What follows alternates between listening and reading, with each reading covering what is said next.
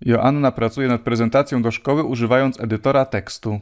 Chce wstawić do prezentacji rysunek o szerokości 13,9 cm w taki sposób, żeby był wyśrodkowany na stronie. Strona ma szerokość 21,59 cm. Jak duży margines powinna zostawić po lewej stronie, żeby rysunek był wyśrodkowany? Dobrze, czyli zacznijmy od tego, że mamy stronę o szerokości 21,59 cm. To ja może zrobię taki pomocniczy rysunek, żeby sobie lepiej wyobrazić, o co tu chodzi. Czyli mamy stronę, która ma właśnie taki wymiar, jak tutaj jest podane w zadaniu.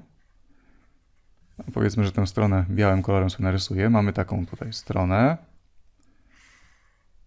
Kartkę papieru. No na razie to jest kartka w komputerze, w edytorze tekstu, ale później pewnie będzie chciała to wydrukować.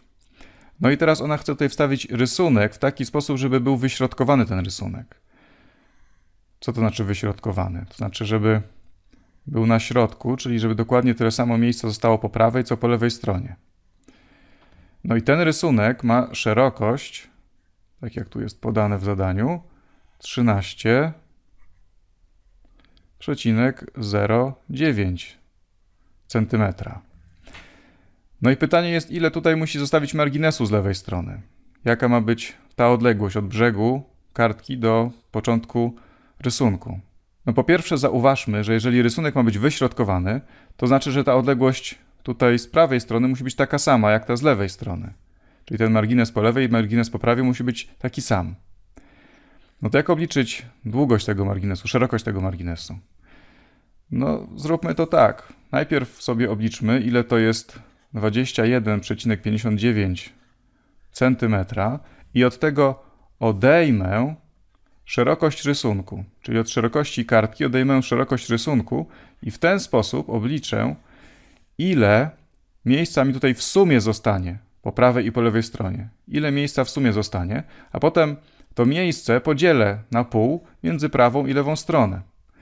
No dobrze, czyli najpierw to odejmę. To ile to będzie? Tutaj 919 to jest 0, od 5 odjąć 0 no to będzie 5. Tutaj od 21 odejmę 13, to zostanie mi 8. Czyli to jest 8,5 cm. Tyle ma to miejsce, które zostanie po prawej i po lewej stronie w sumie. No i teraz pozostaje tylko podzielić to 8,5 cm. Trzeba to podzielić przez 2. I w ten sposób dostaniemy długość tego odcinka. No a ile to jest 8,5 cm podzielić przez 2? No to będzie 4,25 setnych centymetra. Czyli to jest wynik. Tyle marginesu po lewej stronie Joanna musi zostawić, żeby ten rysunek o takim wymiarze był wyśrodkowany na kartce o takim wymiarze. Po prostu od szerokości kartki odjęliśmy szerokość rysunku i podzieliliśmy ten wynik przez 2. W ten sposób otrzymaliśmy ile jest margines po lewej. No i oczywiście taki sam jest po prawej, też 4,25 cm.